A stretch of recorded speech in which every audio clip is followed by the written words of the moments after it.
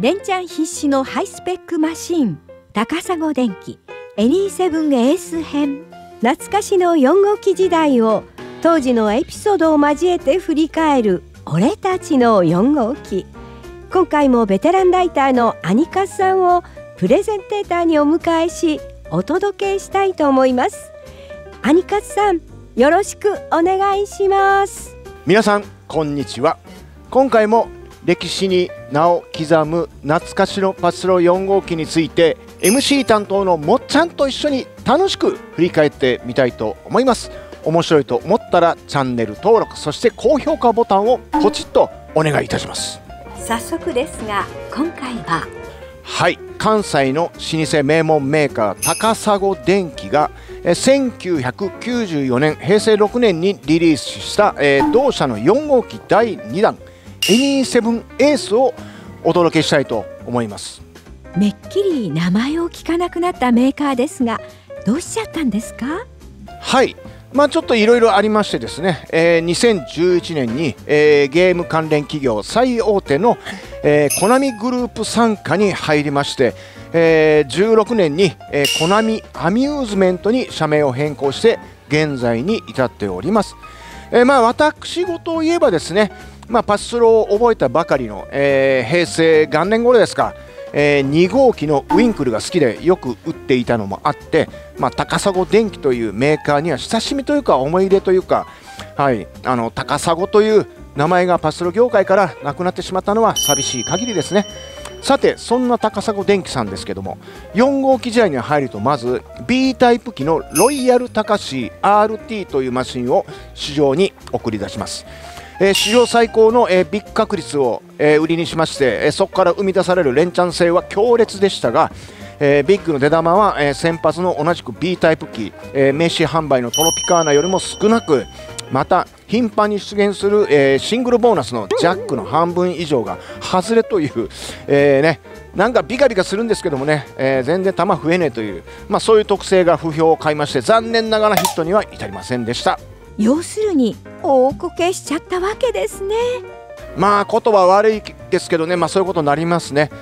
もともと高砂電機さんは、えー、まあパストルの王道 A タイプ機を得意とするメーカーだったんで、えー、まあちょっと冒険しちゃったのがねあだになったっていう格好ですね。まあともかくえー、そんなロイヤルタカシ RT の失敗を挽回すべく、えー、初心に変えて王道の A タイプに、えー、路線をシフトしたと、まあ、そんな感じでございます。ではまずエニーセブンエースから紹介をお願いします。はい、えー、使用は、えー、表面上のボーナス比率1対1のオーソドックスな A タイプでございます、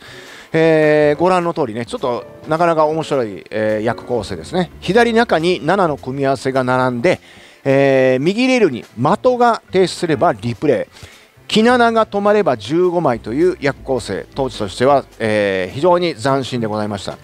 ちなみに黄色7は右レールだけに配された絵柄なんですけどもね、えー、3色の7絵柄を搭載したのはこの NE7 が、えー、史上初となっております。役構成からすると頻繁に7絵柄が転廃してボーナスへの期待を煽る感じなんですが肝心のスペックはいかがだったでしょうか？いい質問ですね。はい。こちらがスペック表になるんですけども期待を裏切らないようボーナスの連続性を重視した確率配分になっております。設定3ですでに機械割りが101%をマークするなど当時の A タイプ機ではなかなか甘めの設計でございました。これは大いに期待が持てそうですね。実際にホールで見せた挙動はいかがでしたか？はい、えー、こちらが、えー、導入初日に採取した実践データになるんですけどもまあ優秀なスペックの実力を遺憾なく発揮といった感じですね、えー、速攻連打が随所で、えー、頻発するなど、まあ、超ノーマル級の、えー、挙動を見せてくれました。ちなみにこの時に採取したすべてのサンプルから算出した50ゲーム以内の、えー、ボーナス発生率はなんと36.7%にも上ったんですね。36.7%導入初日ゆえの高設定営業とはいえいくらなんでもすごすぎますね。いやいやまあそのまさかは多分なかったと思うんですけどね。まあでもさすがに、えー、いくらなんでもこれはできすぎだっていうことで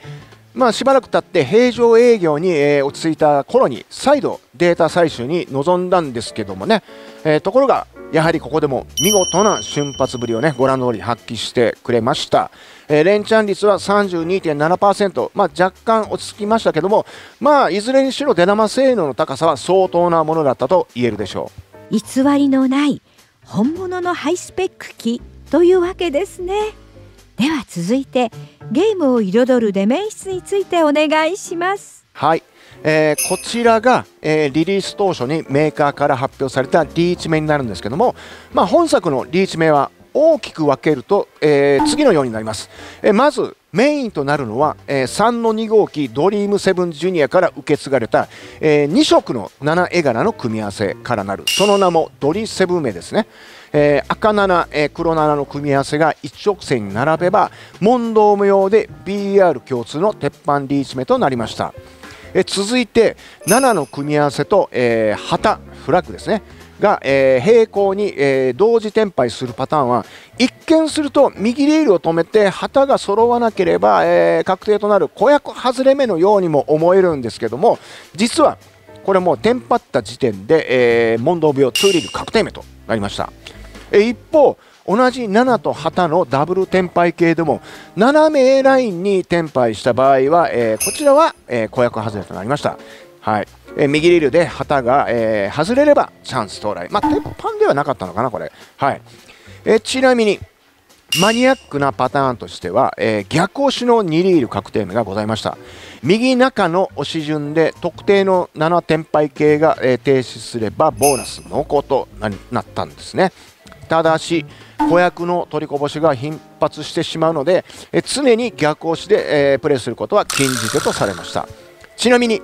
本作には沖縄向けの、えー、兄弟機もございましてそちらは、えー、明快なボーナス告知機能を搭載。え右レル横のヒットカウント、ね、こういう丸いランプが点灯すればボーナス確定となりました。ありがとうございます。では続いて技術介入要素についてお願いします。はい、えー、ビッグ中のリプレイ外しなんですけども当初は絵柄配列、えー、そして役構成の特性でこれは無理だなという判断が下されたんですけども、えー、諦めなかった当時のパスロ必勝街道のスタッフ、はい、攻略スタッフがですね今一度絵柄配列を吟味し試行錯誤を繰り返した結果プラス20枚程度の効果が期待できることが判明しました。え手順はまず右リールに7の塊が通過した直後を狙って、えー、停止した形によって逆挟み撃ちで左リールに所定の箇所をビタ押し、